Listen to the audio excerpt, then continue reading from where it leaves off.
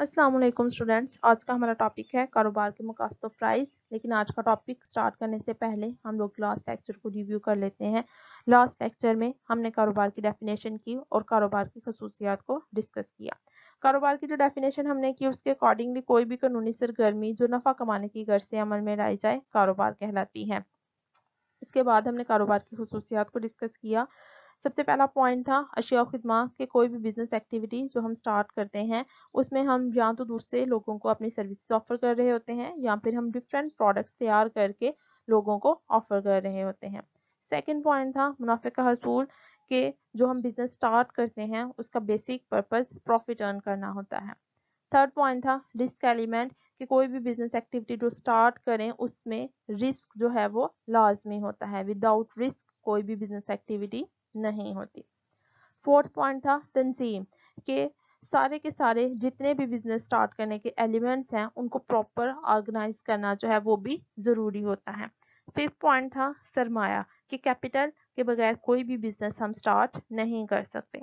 Six one point था, रोज़गार, के बिज़नेस एक्टिविटी जो हम स्टार्ट करेंगे, उससे ना सिर्फ़ और सिर्फ़ उसके ऑनर को रोज़गार मिलेगा, बल्कि जितने भी वो डिफरेंट एम्प्लॉयज़ हायर करेगा, उन सबको भी रोज़गार मिलेगा। सातवां पॉइंट था लेन देन में बाकायदगी कि जो भी बिज़नेस हम स्टार्ट करें, वो रेगुलर बेसिस के ऊपर वो एक्टिविटी हमको परफॉर्म करनी पड़ेगी। अगर हम साल में एक या दो दफ़ा जो है वो कोई एक्टिविटी परफॉर्म करते हैं तो हम ये नहीं कह सकते कि वो हमारा बिज़नेस है, बल्कि रेगुलर बेसिस के ऊपर परफॉर्म करेंगे। आठवां पॉइंट था पैदाइशी अफादा कि जो भी हम चीज़ें प्रोड्यूस कर रहे हैं या सर्विसेज़ ऑफ़र कर रहे हैं, दूसरे लोगों को इससे जो है वो अफादा हासिल होना चाहिए। नाइन्थ पॉइंट था जी कीमत की वसूली। कि जो भी हम प्रोडक्ट्स बनाएँगे या सर्विसेज़ ऑफ़र करेंगे, वो किसी ना किसी कीमत के बदले में हमें दूसरे लोगों को सेल आउट करनी पड़ेंगी तो ही वो बिज़नेस एक्टिविटी कहलाएगी। विदाउट प्राइस हम लोग अगर कोई चीज़ें दूसरे लोगों को ऑफ़र कर रहे हैं तो वो हमारा फिर बिज़नेस एक्टिविटी में शामिल नहीं होगा।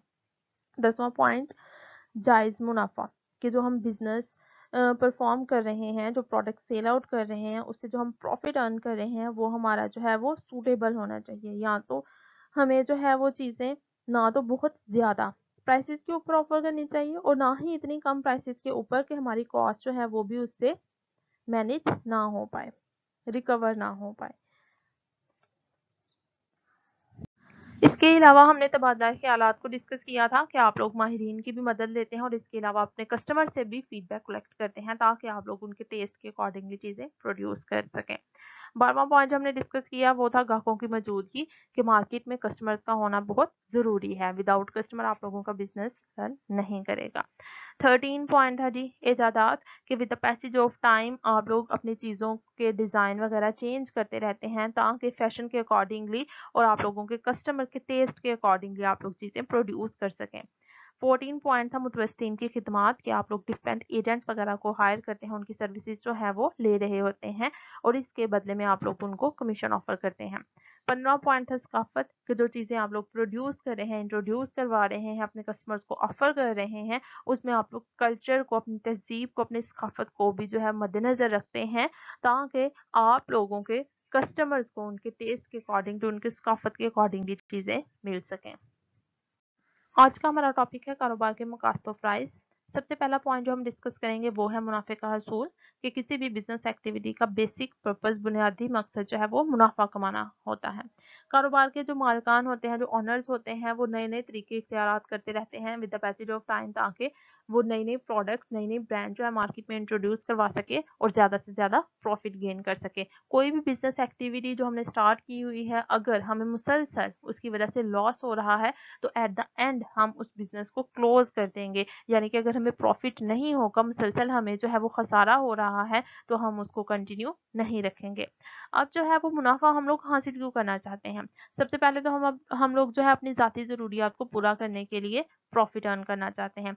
इसके अलावा अगर हमें जो है वो प्रॉफिट होगा तो हमें मेहनत करने का जज्बा पैदा होगा कि जो हमने पहले मेहनत की थी, उसकी वजह से हमें प्रॉफिट हो रहा है। अगर मज़ीद हम पहले से ज़्यादा मेहनत करेंगे तो हमें प्रॉफिट जो है वो भी पहले से ज़्यादा होगा। इसके अलावा अपने बिज़नेस को जो है वो तरक्की देने के लिए, उसको एक्सपैंड करने के लिए, उसमें वसत जो है वो पैदा करने के लिए भी प्रॉफिट का होना ज़रूरी है।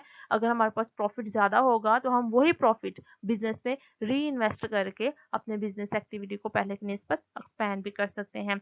जिसके हलाल कमाने के लिए भी प्रॉफिट अर्न करना ज़रूरी है और कौमी आमदनी में भी इसकी वजह से इजाफा होगा। सेकंड पॉइंट है हमारा मुआरे की खिदमत। कि नफ़ा कमाने के साथ साथ कारोबार का जो मकसद है, वो क्या है अपने मुआरे की खिदमत करना। अब मुआरे की खिदमत आप लोग कैसे कर सकते हैं? जो खिदमत आप लोग जो है, वो सर अंजाम दे रहे हैं या फिर जो प्रोडक्ट एंड सर्विसेज़ अपने लोगों को ऑफ़र कर रहे हैं, उनके ज़रिए आप लोग मुआरे की खिदमत जो है, वो कर सकते हैं। यानी कि जिस मुआरे में आप लोगों ने बिज़नेस स्टार्ट किया है, वहाँ के लोगों की पसंद, उनके ज़ोक और उनके मैार के मुताबिक आप लोग जो है, वो अशिया उनको प्रोवाइड करें। म्यारी और आला किस्म की अशिया जो है वो आप लोग अपने कस्टमर को प्रोवाइड करें। जदीद फ़ैशन और डिज़ाइन के मुताबिक अशिया को पैदा करें और अपने मुआरे के लोगों को फ्राहम करें। कम कीमत पर अशिया जो है फ्राहम करें। यानी कि जो चीज़ें आप लोगों ने प्रोड्यूस की हैं, उनको बहुत ज़्यादा हाई रेट्स के ऊपर ऑफ़र ना करें, बल्कि रीज़नेबल प्रॉफिट अर्न करके अपने कस्टमर्स को ऑफ़र कर दें। तमाम इलाकों में अशिया की यकसा फ्राहमी के जिन इलाकों में आप लोग जो है सर्विसेज़ प्रोवाइड कर रहे हैं, अपने प्रोडक्ट्स ऑफ़र कर रहे हैं, यानी कि ये नहीं होना चाहिए कि एक इलाके में बहुत ज़्यादा और दूसरे इलाके में जो है वो डिमांड है, लेकिन आप लोगों की सर्विसेज़ या फिर प्रोडक्ट जो है अवेलेबल ही नहीं है, बल्कि हर एक इलाके में जो है वो यकसा आप लोगों को अशिया और खदमात की फ्राहमी करनी चाहिए। थर्ड पॉइंट है रोज़गार की फ्राहमी के कारोबार। अगर आप लोग स्टार्ट करते हैं तो ना सिर्फ़ और सिर्फ़ जो है बिज़नेस के ऑनर को रोज़गार मिलता है, बल्कि जितने भी डिफरेंट एम्प्लॉयज़ होते हैं उनको भी रोज़गार मिलता है। अगर हम बात करें तो जो जिस पर्सन ने कैपिटल इन्वेस्ट किया है, जो हमारा सरमाएदार है, जो ऑनर है बिज़नेस का, उसको भी रोज़गार मिलेगा। इसके अलावा जितने भी सनती कारकुनान हैं, उन लोगों को भी रोज़गार मिलेगा। अगर आप लोग एक्सपर्ट की सर्विसेज़ जो है वो ले रहे होते हैं, जैसे इंजीनियर्स डॉक्टर्स अकाउंटेंट वकील वगैरह, इन सबको भी रोज़गार मिलेगा।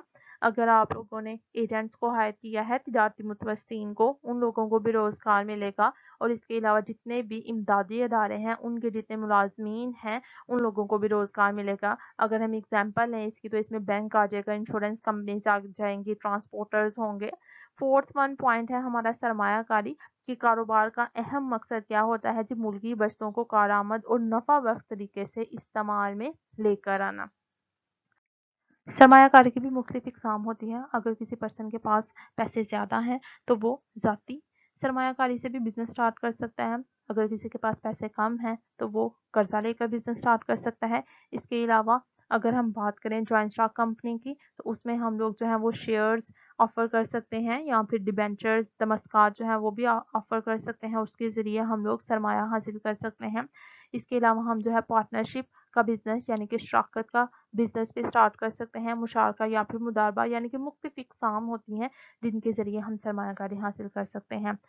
पांचवा पॉइंट है मुल्की मुफादात का तहफ़ कुछ कारोबार ऐसे होते हैं, जिनका बेसिक पर्पज़ अपने मुल्की मुफादात का तहफ़ करना होता है। जैसे अगर हम बात करें दफाई असला साजी की सन की, या फिर जो है वो जदीद रिसर्च के इदारे तो इनका बेसिक पर्पज़ क्या होना चाहिए? आपके मुल्की मुफादात का तहफ़ ऐसे कारोबार हुकूमत जो है वो अपनी निगरानी में कायम करवाती है। सिक्स पॉइंट है, मुआशी तरक्की। अगर हम ओवरऑल देखें तो कारोबार का जामिया मकसद मुआशी तरक्की होता है। इस हकीकत से तो इनकार नहीं किया जा सकता कि कारोबार की वजह से ही आप लोगों के मुल्की वसाइल जो हैं, उनको इस्तेमाल करते हैं आप लोग और गैर मुल्की वसाइल से भी आप लोग अफादा हासिल कर रहे होते हैं। अगर देखा जाए तो कारोबार की वजह से मुल्क में रोज़गार मैसर होता है सरमाकारी में इजाफा होता है कौमी आमदनी में भी इजाफा होता है और अशिया ज़रूरियात जो हैं वो मार्केट में अवेलेबल होती हैं।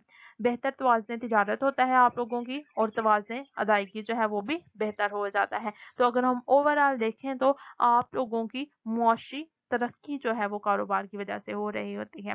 सातवां पॉइंट है जिद्दत। एक कारोबारी आदमी को चाहिए कि वो अशिया की तैयारी के लिए नए और जदीद तरीके इख्तियार करे ताकि वो नई से नई चीज़ें मार्केट में इंट्रोड्यूस करवा सके, इसकी वजह से ना सिर्फ़ और सिर्फ़ इसकी पैदावार में इजाफा होगा, बल्कि इसका जो प्रॉफिट है, वो भी पहले की नस्बत इंक्रीज हो जाएगा।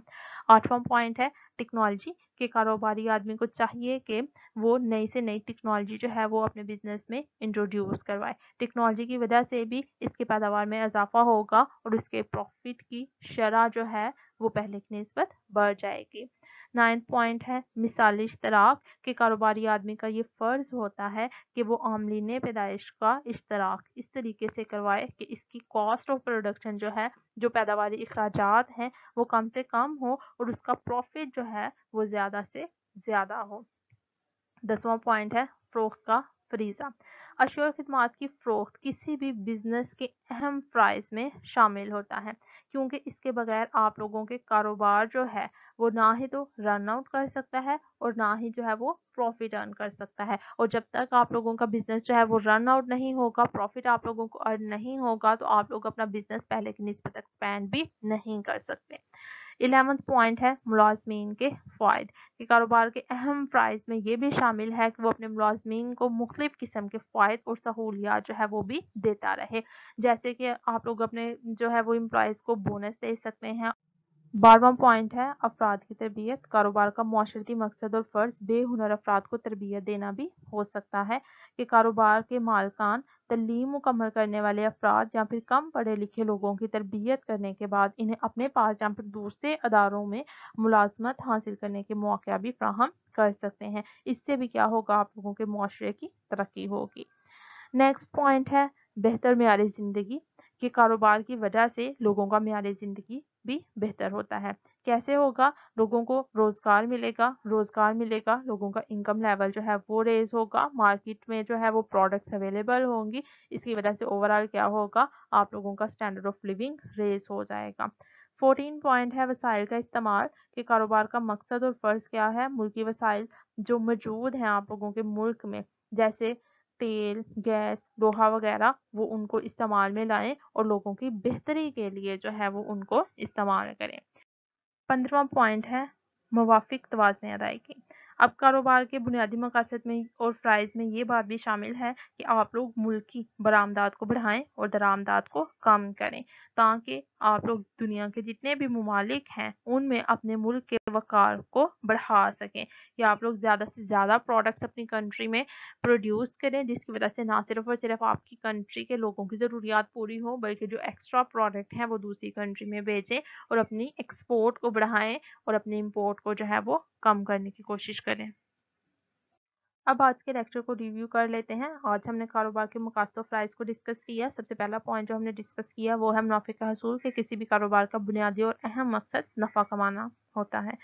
सेकेंड पॉइंट है मुआरे की खिदमत के कारोबार के ज़रिए हम लोग अपने मुआरे की खिदमत जो है वो भी कर सकते हैं, क्योंकि जो हम लोग अपनी प्रोडक्ट या फिर सर्विसेज़ ऑफ़र करते हैं, वो बेसिकली मुआरे में रहने वाले लोगों को ही ऑफ़र कर रहे होते हैं। थर्ड पॉइंट था रोज़गार की फ्राहमी के कारोबार की वजह से ना सिर्फ़ और सिर्फ़ बिज़नेस के ऑनर को रोज़गार मिलता है, बल्कि जितने भी डिफरेंट एम्प्लॉयज़ आप लोग हायर करेंगे, उन लोगों के रोज़गार में भी इजाफा होगा। चौथा पॉइंट है सरमाकारी के कारोबार का अहम मकसद। मुल्की बचतों को कारामद और नफा बख्श तरीके से इस्तेमाल में लाना है, यानी कि कारोबार के ज़रिए आप लोग अपनी बस्तों का बेहतरीन इस्तेमाल कर सकते हैं। पांचवा पॉइंट मुल्की मुफादात का तहफ़ अब कारोबार के प्राइस में ये भी बात शामिल हो सकती है कि आप लोग जो है मुल्की मुफादात का तहफ़ करें। जैसे अगर आप लोग जो है वो दफाई असले की संत को कायम करेंगे तो इसकी वजह से मुल्की मुफादात का तहफ़ होगा। छठा पॉइंट है मुआशी तरक्की। अब कारोबार को अगर हम लोग देखें तो कारोबार का जामिया मकसद मुआशी तरक्की होता है। जैसे कि हम देखें तो कारोबार की वजह से रोज़गार में इजाफा हो रहा है, आप लोगों की सरमाकारी में इजाफा हो रहा है, कौमी आमदनी में इजाफा होगा, अशिया जितनी भी आप लोग प्रोड्यूस कर रहे हैं, वो मार्केट में अवेलेबल होंगी, लोगों का म्यार ज़िंदगी जो है वो बेहतर हो जाएगा। तो हम कह सकते हैं कि ओवरऑल कारोबार की वजह से आप लोगों की मुआशी तरक्की हो रही है। इसके अलावा कारोबार की वजह से आप लोग नई नई चीज़ें मार्केट में इंट्रोड्यूस करवा के अपना प्रॉफिट जो है वो ज़्यादा कर सकते हैं। टेक्नोलॉजी का इस्तेमाल करेंगे, उसकी वजह से भी आपका रेट ऑफ़ प्रॉफिट जो है वो इंक्रीज़ हो जाएगा। आप लोग आमलिन पैदाइश को इस तरीके से इस्तेमाल करें कि जिसकी वजह से आप लोगों की कास्ट ऑफ़ प्रोडक्शन जो है वो कम से कम हो आप लोगों प्रॉफिट जो है वो ज़्यादा हो जाए।